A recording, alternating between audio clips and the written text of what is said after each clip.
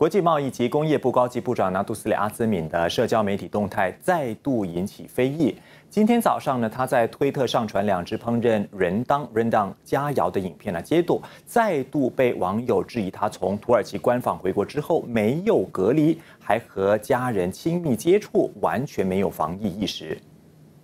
阿兹敏在推文中说自己昨天下午五点十五分完成了和国安会的例行会议之后，就赶到厨房开始为哈芝杰烹煮人当，看来还穿着工作服。网民就认为呢，疫情当下，阿兹敏在外工作回家之后第一件事应该先洗澡。早前卫生总监丹斯里诺西山曾经解释，如果部长的海外行程符合旅游泡泡条件，他们在回国之后就可获得卫生部的允许，将隔离期缩短到三天。